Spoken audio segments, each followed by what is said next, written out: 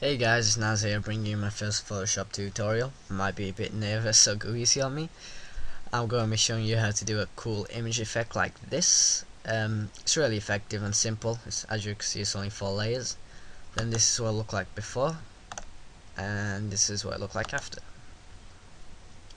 So to start, hit Control N or File and New to create a new canvas. And if you copied a picture before doing this then it should already be the size, the same size as your picture. So click OK. Then paste in your picture using Control V. And then I'm going to crop out the bit that I want by using this crop tool here. You don't have to do this if it's already the right size. But just select the area, hit enter. There you go. And then next um, I'm going to duplicate the layer by hitting Control and J or layer duplicate layer. And then on the top layer, if you click this drop down arrow you can change the blending mode. So I'm going to go to hard light and as you can see this increases the contrast. And if you click on the layer underneath and go to filter blur Gaussian blur change it to anywhere between 5 and 10 it's okay. Then it gives this kind of dreamy look. And I'm going to brighten up a bit um, by adding a lighting effect um, so to do this I'm going to go to filter render lighting effect. You have to be in the top layer by the way. Um, then you don't want to mess about with too many settings really. I'm just gonna go with the intensity and the focus. The intensity is basically how bright the light is. The focus how big the light is. Um, that's okay. And if you move this white dot here you can change the position of the light.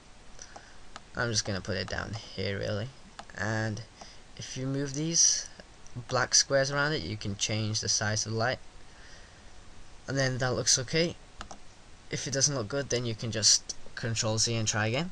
So if I show you the difference it looked like that. Then lighting kind of made it glow a bit.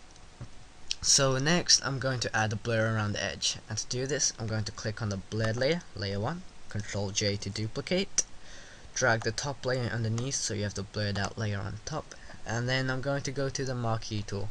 If you don't have this then hold it down go to the rectangular marquee tool. Then I'm going to change the feather to about 100 pixels that should be alright. It kinda depends how big your image is. So if you highlight it all then click delete. You're left with a blur around the edge which looks alright. If you look at the picture that I showed you before it kind of has an orange tint to it and to do this you want to go to this icon down here the black and white circle. Click the arrow go to photo filter. And then this adjustments tab should pop up, pop up and then you can change the color you want. It depends what color you want it to be.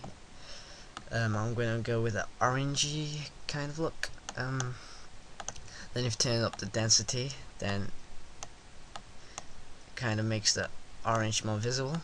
Um, I'm going to go with about 45 maybe change the color a bit to yellow. Yeah that looks good. And then there you go. This has been my first Photoshop tutorial. Hope you enjoyed it. If you have any questions just post them. Or if you want to see any more tutorials then just ask. Thank you. Bye